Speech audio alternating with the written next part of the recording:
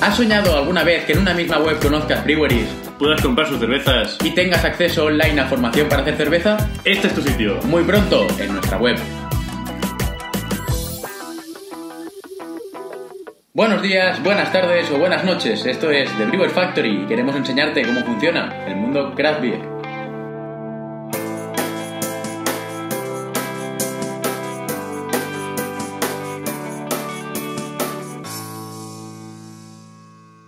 Muy buenas familias, feliz viernes a todos. A mi lado, como siempre, Alfred. ¿Qué tal? ¿Cómo estás? Buenos días, Manu. Pues contento de que sea viernes y podamos hablar pues, de un tema bastante chulo el de hoy, ¿eh? Correcto, semana dura, ¿eh? ¿Sí?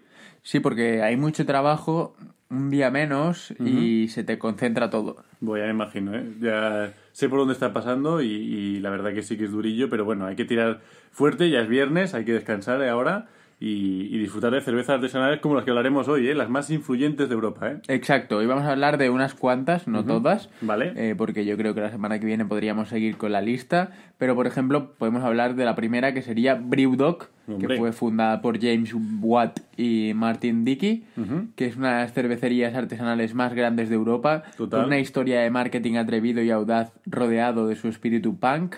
Eh, habiendo comenzado solo en 2007, los logros de la cervecería hasta ahora son más que impresionantes.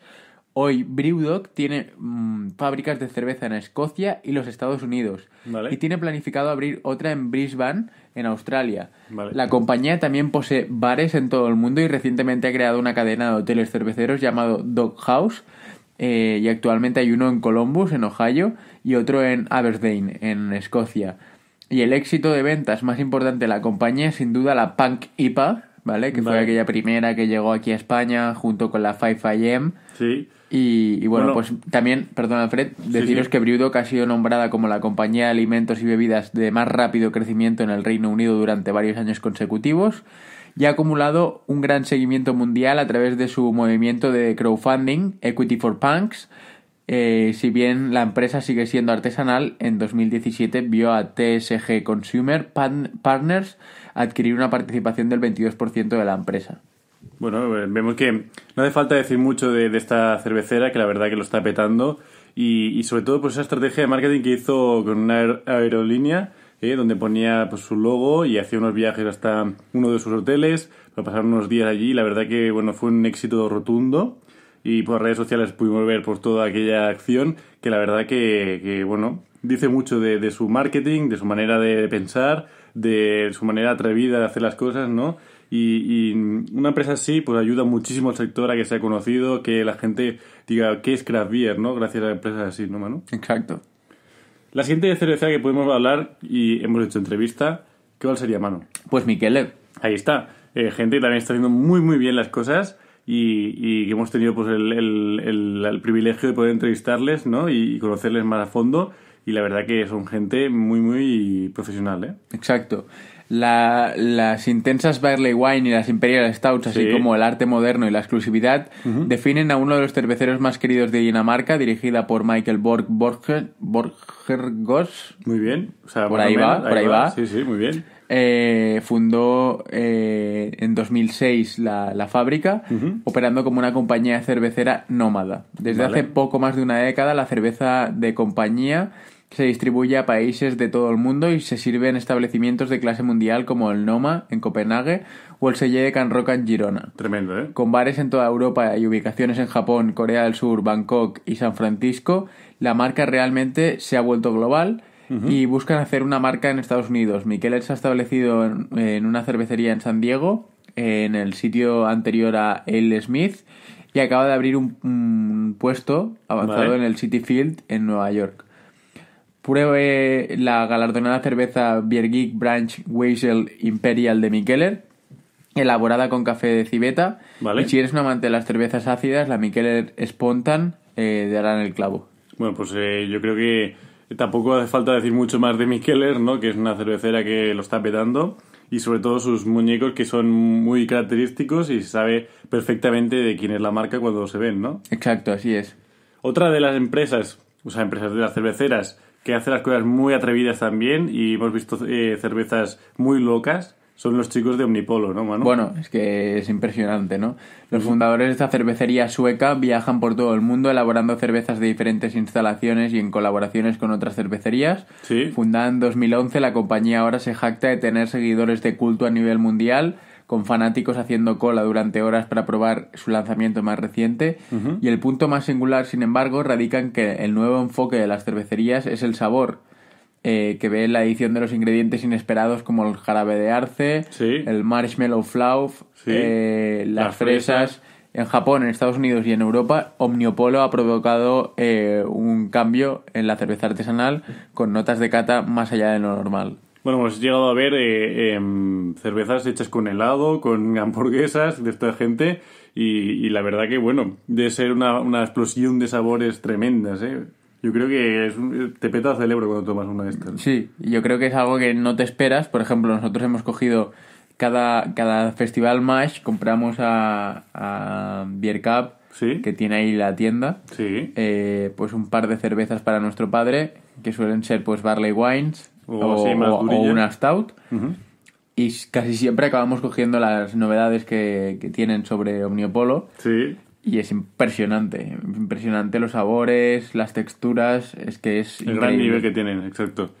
Eh, ¿Te parece que hablamos de otra más? Pues venga, va, otra más. Cloudwater Brew Co. en Inglaterra. La fábrica de cerveza Cloudwater se lanzó en el centro de Manchester en 2014 con el objetivo de crear sabrosas cervezas artesanales de temporada. Vale. Y la cervecería comenzó a acumular premios.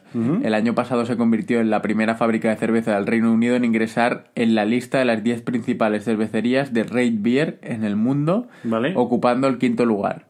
Nuevamente, en 2018, la cervecera ha conmocionado el mundo de la cerveza artesanal. Los premios anuales han nombrado Cloudwater como la segunda mejor fábrica de cerveza en el mundo, justo debajo de la fábrica de cerveza Hill Farm State, eh, de renombre mundial en Vermont. Vale. Y si bien los premios no son definitivos, Cloudwater está ayudando a cambiar la cultura de la cerveza en el Reino Unido al poner la calidad, el sabor y los lotes estacionales a la vanguardia.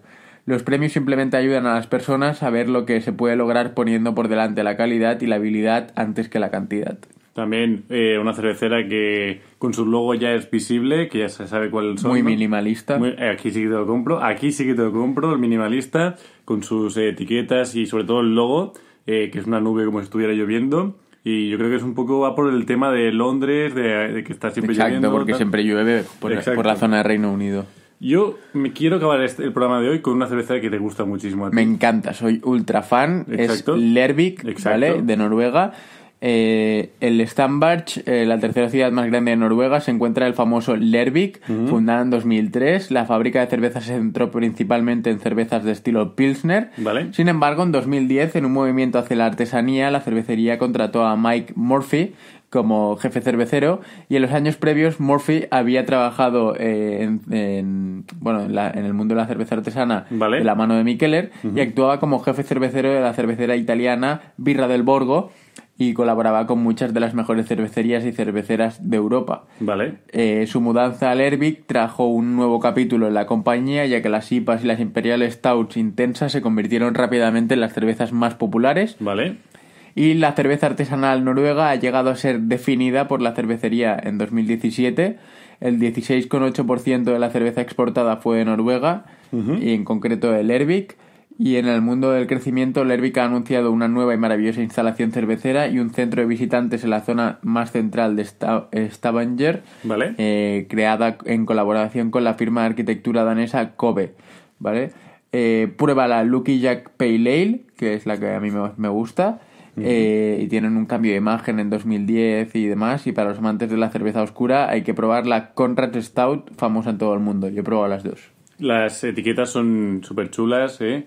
Aquí no cabe duda de que hacen hecho un trabajo... Son simples, pero a la vez Sí, sí, muy sí. completas. Sí, simples, pero llamativas por sus colores, por sobre todo la estrella que tienen en medio. O- ojo, no os confundáis con otra que venden ah, ya, ya, ya, por ahí, ¿eh? Sí, sí, la etiqueta roja, ¿no?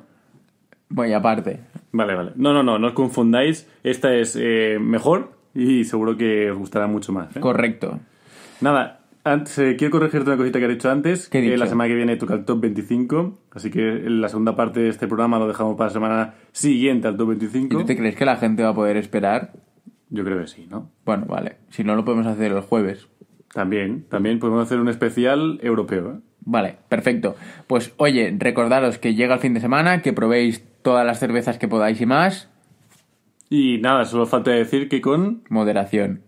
Exacto. Con moderación siempre, eh, sin, sin abusar y probando estilos nuevos, probando eh, cerveceras que, que no conozcáis, como por ejemplo las de, las, las de los martes de España, ¿no? O por ejemplo como estas de, de europeas. ¿eh?